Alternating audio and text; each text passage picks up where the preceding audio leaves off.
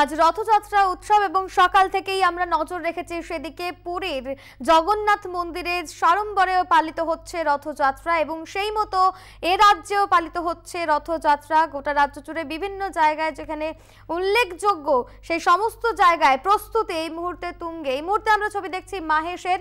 মাহেশের রথযাত্রা ঐতিহাসিকভাবে যথেষ্টই উল্লেখযোগ্য। সেই জায়গা থেকে সকাল থেকে রীতি অনুযায়ী শুরু হয়েছে পুজো পাঠ এবং অগণিত ভক্তের ঢল। আমরা সরাসরি চলে যাব মাহেশে, সেখানে রয়েছেন আমাদের প্রতিনিধি সৌমেন রায়চৌধুরী। সৌমেন, বিস্তারিত জানতে চাইব তোমার কাছে ঠিক কি ছবি রয়েছে, সব মিলিয়ে ভক্তরা কি বলছেন? দু বছর পর করোনা কাটিয়ে তারা আবার রথে সামিল হতে পেরেছেন।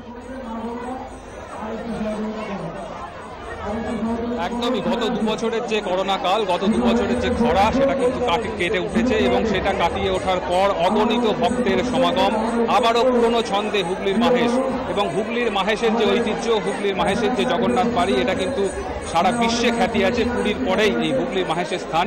এবং সেই কারণেই অগণিত ভক্ত সারা সকাল থেকে কিন্তু আমরা দেখেছিলাম যে মানুষের প্রস্তুতি একেবারে চূড়ান্ত, সাধারণ মানুষ যাতে এখানে আসতে পারেন এবং সাধারণ মানুষ যাতে এখানে এসে এই জগন্নাথ দেবের দর্শন করতে পারেন। তার জন্য প্রস্তুতি কিন্তু চূড়ান্ত করা হয়েছিল। প্রশাসনিক তৎপরতাও কিন্তু একেবারে চূড়ান্ত পর্যায়ে নিয়ে যাওয়া হয়েছিল।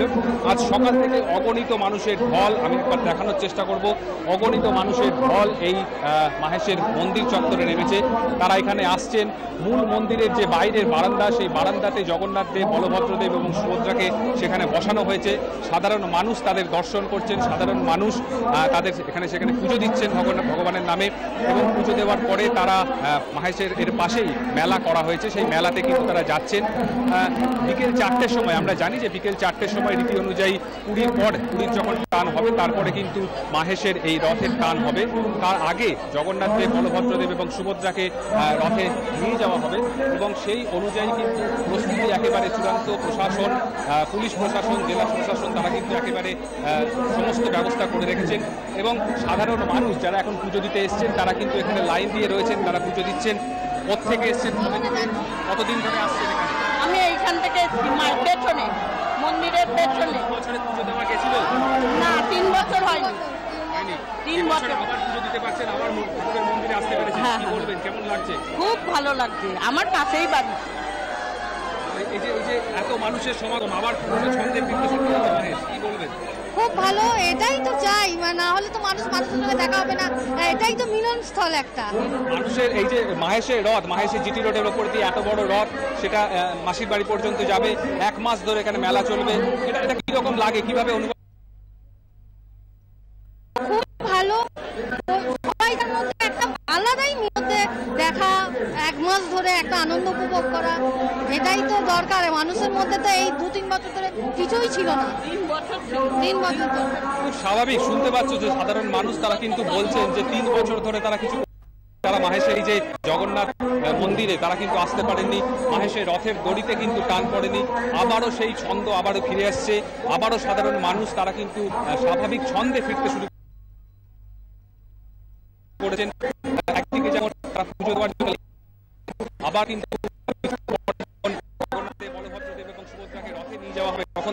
এটাই কিন্তু খুব কাঙ্ক্ষিত এটাই খুব স্বাভাবিক সেই কারণে প্রশাসনের যে ব্যবস্থা সেটা কিন্তু সম্পূর্ণ করা হয়েছে এবং খুব সুষ্ঠু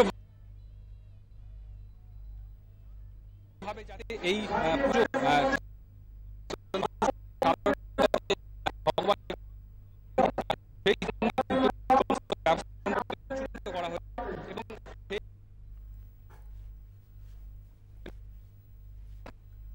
একেবারেই যে ছবি আমরা দেখতে পাচ্ছি, অগণিত ভক্তের ঢল এই মুহূর্তে মাহেশে এবং ঐতিহ্যময় এই এই ঐতিহ্যবাহী এই মাহেশের রথ। দু সালে এখানে এসেছিলেন। তিনি তখন দায়িত্ব নিয়ে বলেছিলেন যে এই মন্দিরকে পর্যটন স্থল হিসেবে তারা তৈরি করে দেবেন। গভর্নমেন্ট যাতে সমস্ত ব্যবস্থা এই মাহেশের মন্দিরের জন্য করবেন এবং সেই অনুযায়ী কিন্তু পুরো মন্দিরকে ঢেলে সাজানো হয়েছে এবং মমতা বন্দ্যোপাধ্যায় যখন এই মন্দিরে এসেছিলেন, তখন কিন্তু তিনি এখানকার সেবায়িত, এখানকার সাধারণ মানুষ তাদের কাছে প্রতিশ্রুতি দিয়েছিলেন যে এই দায়িত্বটা সরকার নেবে এবং সেই মতো কিন্তু সমস্ত ব্যবস্থা একেবারে তৈরি করা হয়েছে। যদিও গত দু বছর করোনার জন্য কিন্তু এই মন্দিরের যে রিনোভেশন হয়েছিল, সেটা কিন্তু সাধারণ মানুষকে সেভাবে দেখানো যায়নি, সাধারণ মানুষ সেভাবে আসতে পারেননি। কিন্তু এবছর এই যে এই যে খাটাখাটনি বলতে পারো, এই যে সরকারি উদ্যোগ বলতে পারো, এই যে সাধারণ মানুষের চাহিদা বলতে পারো, সেটা কিন্তু একেবারে চূড়ান্ত এবং সেটা কিন্তু সাধারণ মানুষের জন্য খুলে দেওয়া গেছে। সোমেন একেবারেই যে ছবি আমরা দেখতে পাচ্ছি, এখন থেকেই অগণিত মানুষের ঢল রয়েছে মাহেশে। সে জায়গা থেকে একটা বিষয় জানতে চাইব, রথযাত্রা উৎসব, যেটার জন্য আপামোর ভক্তরা, তারা বসে থাকে যে রথের রশিতে টান পড়বে এবং রথের রশিতে টান দিতে হবে। সেই নির্ঘণ্ট যদি তুমি আমাদেরকে জানাও, ঠিক কখন থেকে শুরু হবে রথযাত্রা?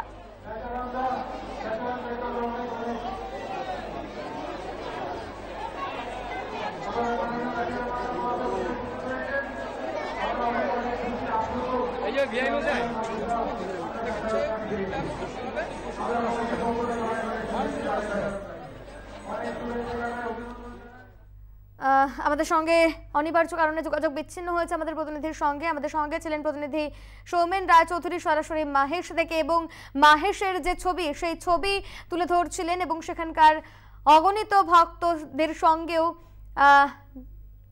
কথা বলেছেন আমাদের প্রতিনিধি এবং তারা যেরকমটা বলছেন দীর্ঘ দু বছর করোনাকাল কাটিয়ে এবার ভক্ত সমাগমে তারা আপ্লুত এবং জগন্নাথ দেবকে সামনে থেকে দেখতে পেয়ে তারা যথেষ্টই খুশি। মাহেশের রথযাত্রার ছবি এই মুহূর্তে আপনারা দেখতে পাচ্ছেন কলকাতা টিভির পর্দায়। রাজ্যের ঐতিহ্যবাহী রথযাত্রা উৎসব যেখানে পালিত হয়, তার মধ্যে অন্যতম মাহেশ। এবং এই মাহেশে প্রতি বছর সাড়ম্বরে পালন করা হয় রথযাত্রা উৎসব। সেই মতো এবছরও প্রস্তুতি নেওয়া হয়েছে। সকাল থেকেই রীতি অনুযায়ী শুরু হয়েছে পুজো পাঠ এবং অগণিত ভক্তের ঢল সকাল থেকেই। অগণিত মানুষ তারা যে হাজির হবেন তা আগে থেকেই জানা ছিল। সেই কারণে স্থানীয় প্রশাসনের তরফ থেকে নিরাপত্তা ব্যবস্থা যথেষ্টই কঠোর করা হয়েছে। সেই মতো নিরাপত্তা ব্যবস্থাতেও যথেষ্ট জোর দেওয়া হয়েছে প্রশাসনের তরফে।